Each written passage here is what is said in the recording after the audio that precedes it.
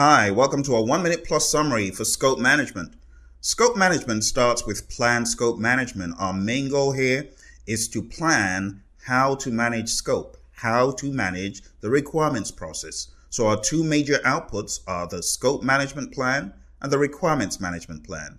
Our next process is collect requirements. In collect requirements, we apply these plans, the scope management plan and the requirements management plan, and these are encapsulated in a more overarching project management plan.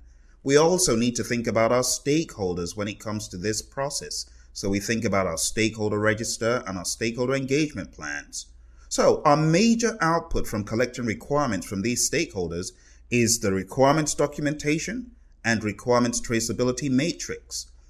Our next process is define scope. In defined scope, you need to think about inclusions, exclusions, constraints, assumptions. These are rather important as you're defining what needs to be done on the project as a whole. Based on one requirement, you could have a huge amount of scope added.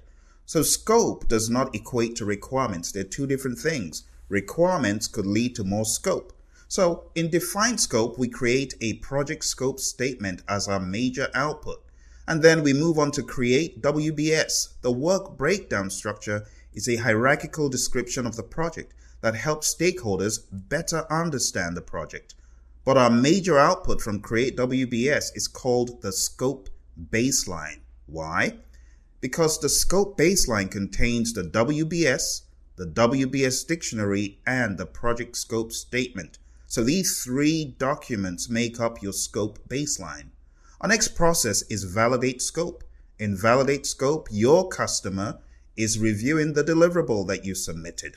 The deliverable that you said was fit for use and will conform to their requirements will now be put under the proverbial microscope by the customer to make sure that that deliverable is indeed fit for use from their perspective and that it conforms to their requirements from their perspective. As a result of this, you can be sure that you're going to get either an accepted deliverable that signifies that that product, service, or result is good to go, or we're going to end up with a change request. Our last process in scope management is called control scope. And in control scope, we are ensuring that people are following the scope plans. They are not gold plating. They're following the scope baseline and everything that was promised was done. No more, no less. And that concludes our one minute plus summary for scope management.